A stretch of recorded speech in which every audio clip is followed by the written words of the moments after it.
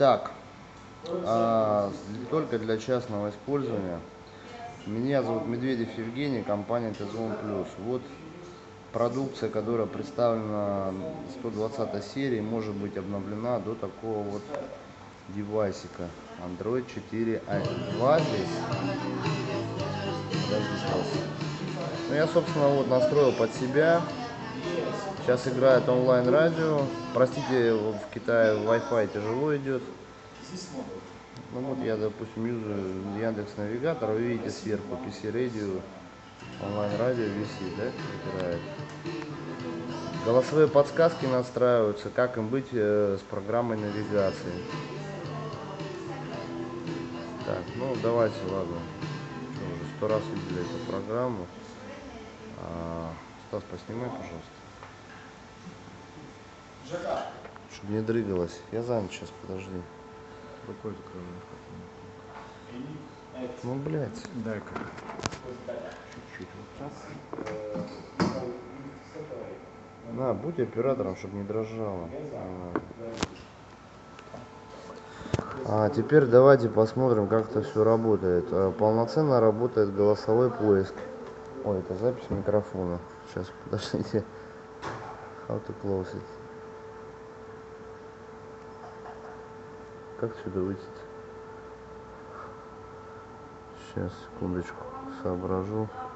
Ну, Например, вот режим радио. Это один интерфейс на Android 4.1. Пока не очень удобно, ну, с дистанции не листается, но есть FM диапазоны вот так раскиданы.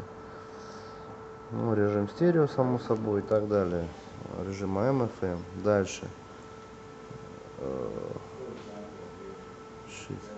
Как это выключить? Да, вот косяк, я не знаю, как э, выйти. А. Так, что еще? Это я уже тюнингом, рабочие столы меняются пальчиком. Экран будет емкостной, само собой. Например. Москва.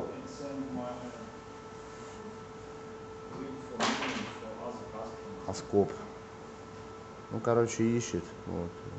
Река Аскоп нашлась. Неважно, сейчас устройство на английском языке, я не могу отобразить корректно.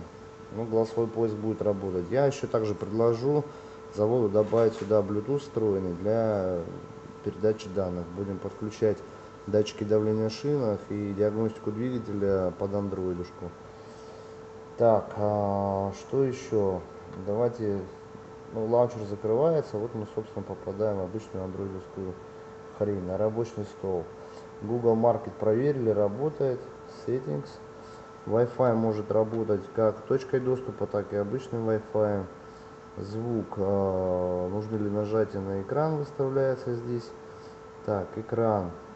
Ну, понятно, сейчас мы яркость по максимуму поставим. Шрифты, подбор шрифтов. Сейчас нор, нор- нормал стоит. Можем сделать поменьше, допустим. Ну, то есть э, менюшка вся собрана под палец. А языки, естественно, это все как и должно быть. Теперь, собственно, автомобильные настройки. Здесь мы выбираем программу навигации, которая будет по кнопочке GPS запускаться. То есть используем, допустим, CityGuide, то для CityGuide будет применяться следующие настройки. Она будет запускаться с кнопки One Touch бутом. И дальше здесь выставляете, как вести себя системе. Либо миксовать звук, да, и выставлять относительность э, микса либо просто вы ставите и канал будет переключаться. То есть музыка затыкается, навигатор говорит. Навигатор сказал, музыка играет дальше. Установки автомобиля. Тут э, выставляется, собственно, всего лишь три параметра стандартных. Можно ли вам муви смотреть движение, так скажем, или нет. Но у нас в России можно. Настройки эквалайзера э, пока вот такой с эффектом Loud а, предустановки, соответственно, какие-то. Я хочу, чтобы здесь был DSP пакет и реально хороший эквалайзер стоял, сказали это сделают.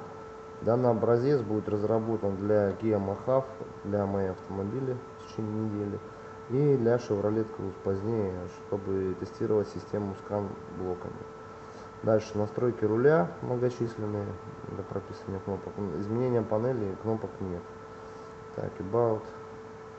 процессор, т.д. модель. все собрано на кернеле. Итак, что еще? Ну, собственно, все, остальные функции. Здесь полноценный Android, никакой винды. Внимание, если мы, компания Red Power одобряет данные образцы, то они массово вступают э, на, на широкий модельный ряд 120 серии. То есть теоретически через 3-4 месяца мы закроем весь возможный и невозможный ряд продукции под Android. Внимание, цена будет э, изменена несущественно. Все, спасибо за видеообзор. До свидания.